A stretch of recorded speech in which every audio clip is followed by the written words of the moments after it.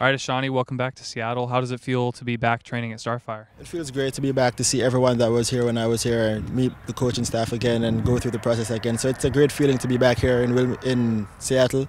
So I'm just excited for the, the season ahead of us and for the coaching staff to work with them again. You're joining the team with a lot of new players, a lot of people that are also new to Seattle.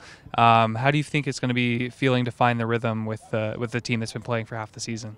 Uh, the guys are great. I've played with a lot of them before, and I've met the few new guys today. So it's great just to be back to play with them again.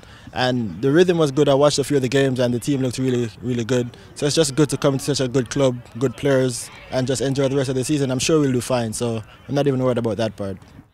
Um, and you know, first home game with you on the club isn't for you know about a week and a half. Uh, what are you looking forward to about playing in front of this crowd again?